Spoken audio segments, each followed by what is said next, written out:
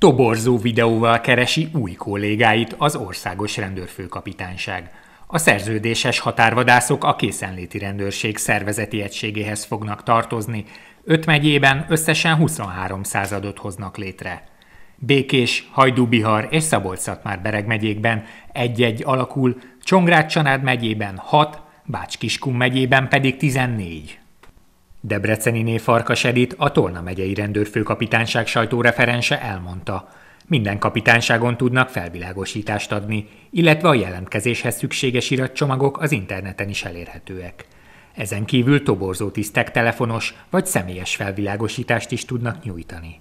Mindazon személyek jelentkezését várjuk, akik magyar állampolgárok, betöltött 18. és be nem töltött 55. életév között vannak, cselekvőképesek, büntetlen előéletűek, illetve vállalják a felvételhez szükséges fizikai, pszichikai, illetve egészségi vizsgálatok meglétét.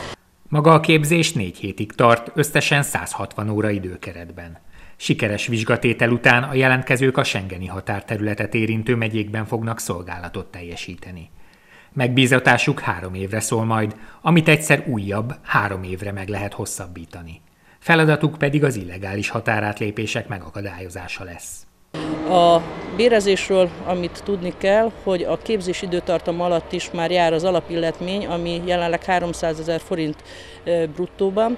A szolgálatba lépéstől indulóan pedig ehhez különböző pótlékok csatlakoznak. Van a szolgálati pótlék, ami 570 forint óránként, aztán az idegen nyelvtudási pótlék, a készenléti pótlék, az éjszakai pótlék.